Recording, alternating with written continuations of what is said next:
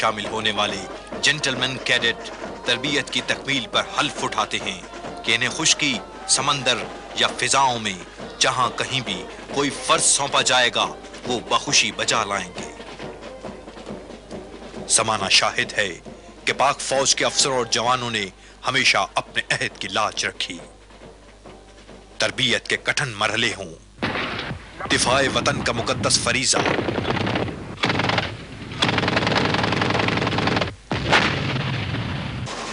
یاد نہ کہانی آفات میں امدادی سرگرمی پاک فوج کے جوان ذاتی آسائشات قربان کر کے ہمیشہ وفاؤں کی نئی داستان رقم کرتے رہے۔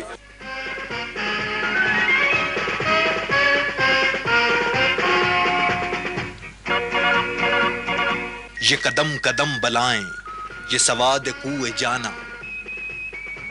وہ ابھی سے لوٹ جائیں جنہیں زندگی ہو پیاری۔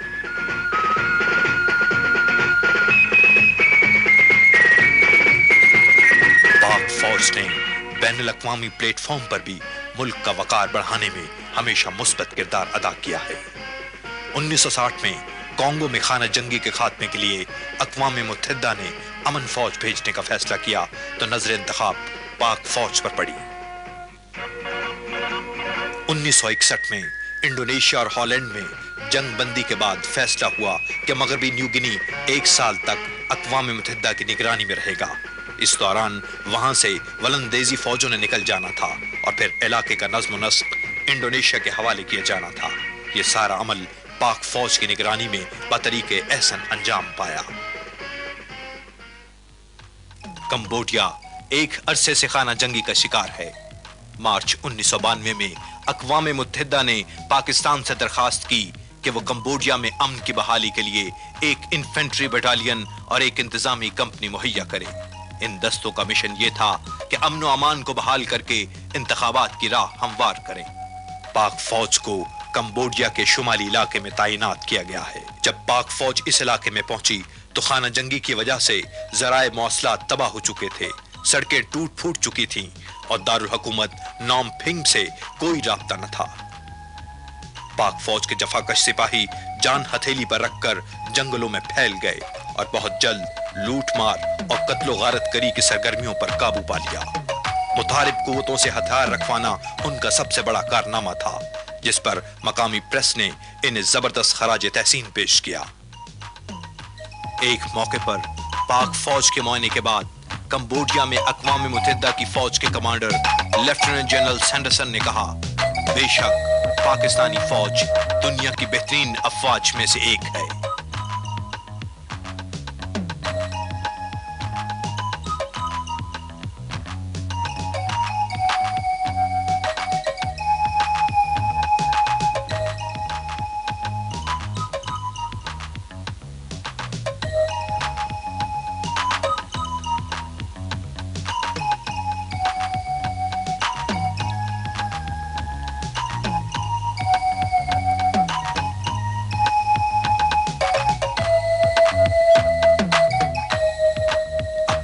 اپنی سرگرمیوں کے ساتھ ساتھ، پاک فوج کے جوانوں نے اقوام متحدہ کی امن فوج کے تحت ہونے والے کھیلوں میں بھی بھرپور حصہ لیا۔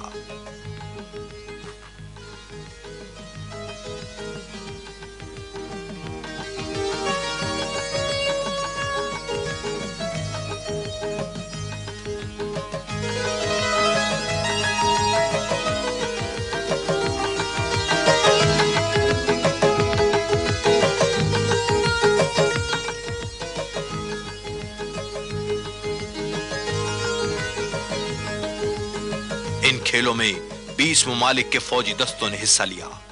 پاک فوج سب کو پیچھے چھوڑ گئی۔ اس نے سونے کے چودہ اور چاندی اور کانسی کے پانچ پانچ تمغے حاصل کر کے چیمپئن ہونے کا اعزاز حاصل کیا۔ پاک فوج میں شامل ہر فرد کو احساس ہے کہ بیرون ملک وہ اپنے وطن کا سفیر ہے، پاکستان کی پہچان ہے اور یہ اس کا فرض ہے کہ دوست ممالک میں اپنے ملک کو بہتر طور پر روشناس کرائے۔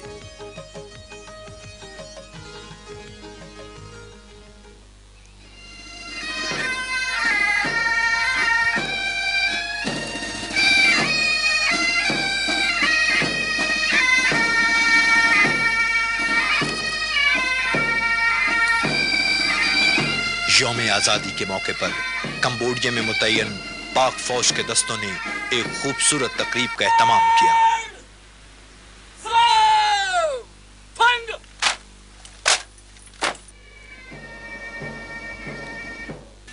By the grace of Almighty Allah, the Lord of the Lords, Pakistan came into being as an independent state on 14th of August اس تقریب میں تحریک آزادی کے پس منظر میں پاکستان کا تعارف کروایا گیا in the contemporary history. علاقائی رقص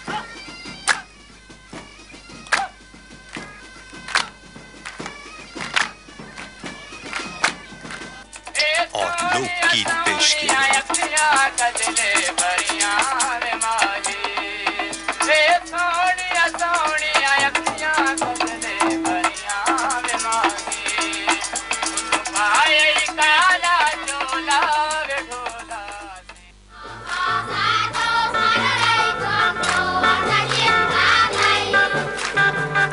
مقامی اسکول کے بچوں نے پاک فوج کے لیے استقبالیہ نغمے پیش کیے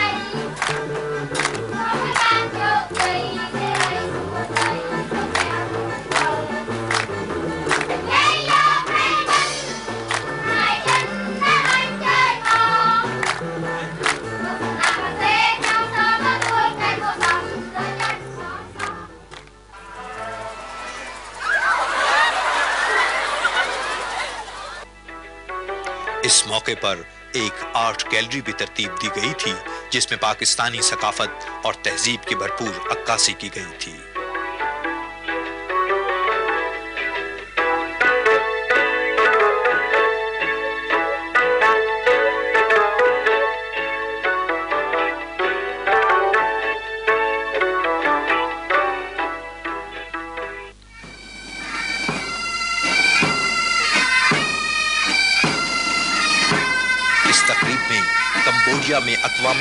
متحدہ کی فوج کے کمانڈر نے پاک فوج کو مقامی باشندوں میں اقوام متحدہ کی امن مشن کے لیے احترام کے جذبات پیدا کرنے میں کامیابی پر زبردست خراج تحسین پیش کیا۔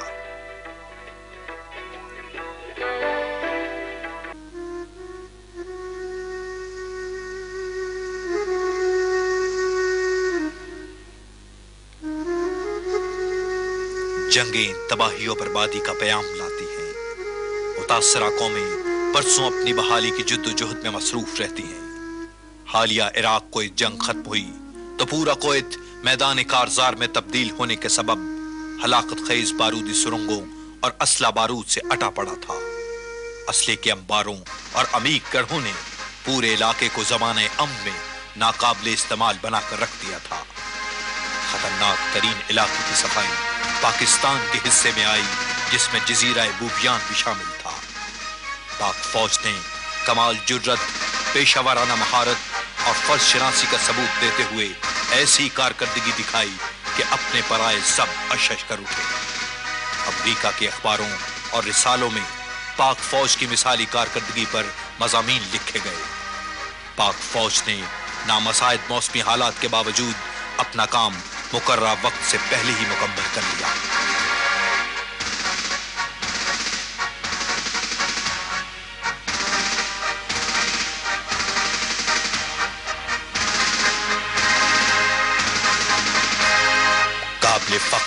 فخر ہے۔ اللہ تعالیٰ کے فضل و کرم سے پاک فوج کے دستے زیادہ تر خیریت سے رہے۔ جبکہ نسبتاً کم خطرناک علاقوں میں کام کرنے والے دوسرے ملکوں کے دستوں سے ان کے فوجیوں کے ہلاک ہونے کی اطلاعات مسلسل ملتی رہتی ہیں۔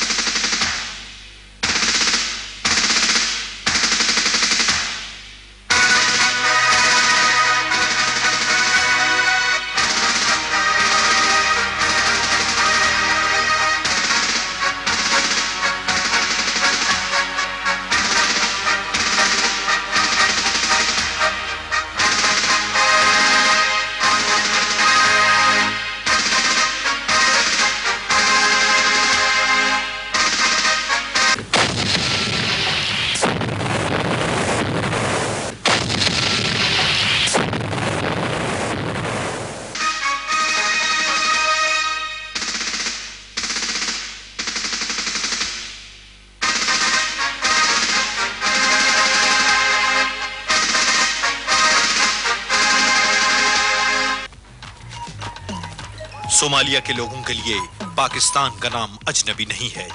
اپنی آزادی کی یادگار کے طور پر انہوں نے جب تمغے تیار کیے تو پہلا تمغہ پاکستان بھیجا گیا تھا۔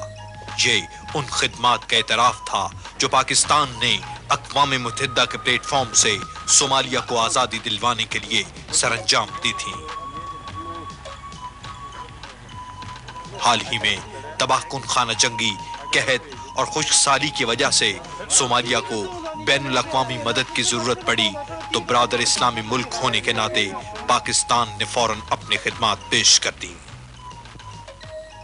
صومالیہ میں قحط اور خشک سالی سے بھی زیادہ تباہ کن بات وہ لوٹ مار اور غنڈہ گردی تھی جو متعارف گروپوں نے مچا رکھی ہے۔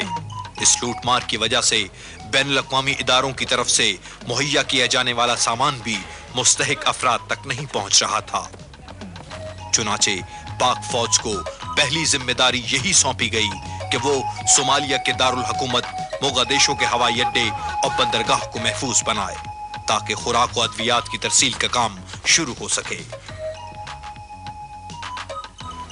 پاک فوج نے چند ہی دنوں میں ہوائی اڈے، بندرگاہ اور ارد گرد کے علاقے میں امن قائم کر دکھایا، جس کے بعد امریکی فورس وہاں اتر سکی اور امدادی سامان کے قافلوں کی آمد و رفت شروع ہو سکی۔ یہ ایک بہت بڑا کارنامہ تھا، جس کے اعتراف میں اقوام متحدہ کے ایک اعلیٰ افسر ایڈمرل جونتھن ہاؤ نے سیکرٹری جنرل کو پاک فوج کے بارے میں لکھا۔ وہ اول درجے کے سپاہی ہیں۔ انہیں معلوم ہے کہ وہ کیا کر رہے ہیں، اور جو کچھ وہ کر رہے ہیں، بلا شبہ بہترین کام ہے۔ یہ عالمی درجے کا ملٹری یونٹ ہے۔ پاک فوج کے خلوص، لگن اور اعلیٰ پیشہ ورانہ کارکردگی پر، اسے بین الاقوامی طور پر جو خراج تحسین پیش کیا گیا ہے، وہ یہ تھا کہ امریکہ کے فوجی دستوں کی ان علاقوں سے واپسی پر زمبابے مصر، نائجیریا اور کویت کی فوج کے دستے بھی پاک فوج کے زیر کمان کر دیے گئے۔ اور موگادیشو کے علاوہ دو مضافاتی شہروں افگوئی اور مرکا کا انتظام بھی پاک فوج کے سپرد کر دیا گیا۔ یہاں پاک فوج نے برسر پیکار قبائل سے ہتھیار رکھوائے اور بڑی تعداد میں وہ گولہ بارود برآمد کیا جو خانہ جنگی میں استعمال ہو رہا تھا۔ اس سے امن و امان کی بحالی میں بڑی مدد ملی۔ پاک فوج نے خوراک اور امدادی سامان کی تقسیم کا نظام بہتر بنایا۔ جگہ جگہ طبی امداد کے کیمپ قائم کیے، جہاں پاکستانی ڈاکٹر اور طبی امداد کے افراد دن رات کام کرتے رہے۔ ان سرگرمیوں سے پاک فوج کے وقار میں بلا شبہ اضافہ ہوا ہے۔ اور اس کی جھلکیاں عوامی اجتماعات میں صاف نظر آتی ہیں۔